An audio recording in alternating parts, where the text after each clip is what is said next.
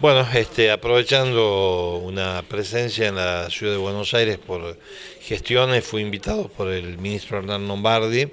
este, a recorrer las instalaciones de Tecnópolis, teniendo en cuenta que hubo un lanzamiento especialmente por las vacaciones invernales, el día sábado pudimos recorrer a partir de las 12 y hasta las 5 de la tarde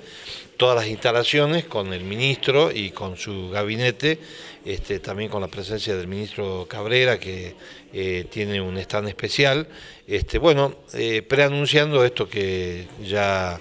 eh, lo dijo el gobernador de la provincia, la presencia de Tecnópolis, eh,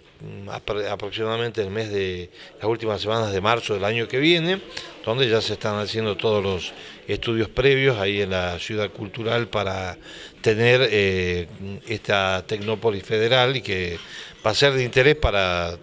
los chicos, los grandes, para toda la familia,